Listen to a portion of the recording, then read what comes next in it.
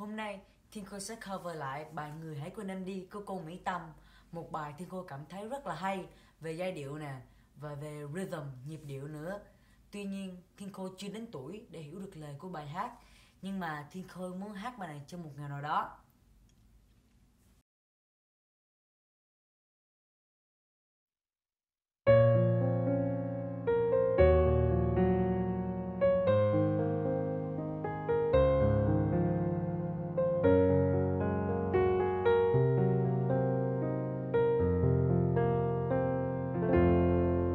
Người yêu hỡi dù gì cũng xa nhau rồi. Ngày nào chiếc hôn bao đêm ra rơi giờ đã hết rồi. Chẳng còn hơi ấm trên đầu môi.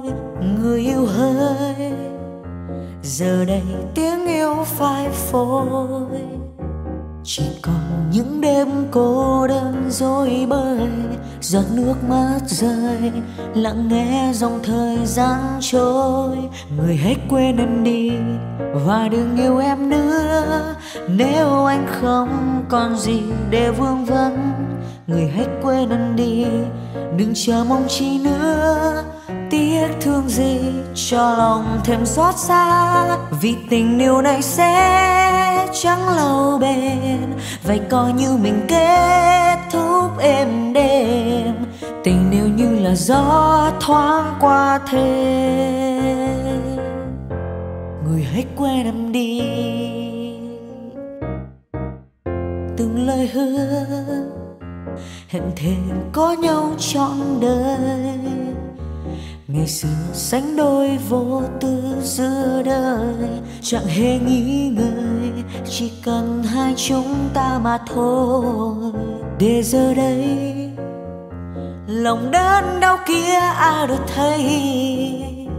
Lời hứa xưa kia tan theo khói mây, mình em trốn đây, một mình ôm bao đắng cay. Người hãy quên em đi và đừng yêu em nữa nếu anh không còn gì để vương vấn, người hãy quên em đi. Đừng chờ mong chi nữa, tiếc thương gì cho lòng thêm xót xa. Vì tình yêu này sẽ chẳng lâu bền, vậy coi như mình kết thúc êm đêm.